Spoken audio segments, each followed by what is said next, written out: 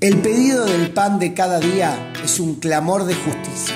Entre las necesidades primarias está el alimento. Por eso Jesús se identifica con los últimos en la fila de la vida que padecen hambre y dice, tuve hambre y me diste de comer. La inflación desde hace años crece día a día y pega en el precio de los alimentos. Lo siente la clase media trabajadora, los jubilados y aquellos que no ven crecer sus salarios. También en la economía popular, donde prácticamente se trabaja sin derechos. Las familias se privan de muchas cosas.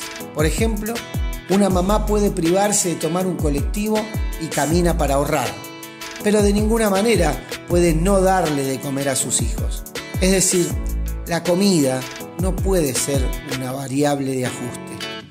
El tiempo de la pandemia nos enseñó el valor de la respuesta comunitaria organizada, unidos para curar, cuidar y compartir. Esa fue la consigna de ese tiempo. Esa reserva está todavía presente por eso el Estado nacional, provincial y municipal tiene que aprovecharla para que nadie se quede sin el pan de cada día.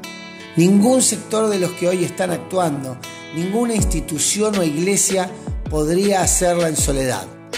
La complejidad de la crisis así lo está indicando. Toda esta comunidad, verdadero ejército de amor y servicio, está dispuesta a dar de comer ahora porque hace falta pero sin renunciar a seguirse poniendo la patria al hombro para que en nuestra querida Argentina se haga realidad el sueño de tierra, techo y trabajo para cada familia. Conferencia Episcopal Argentina, Buenos Aires, 5 de febrero de 2024.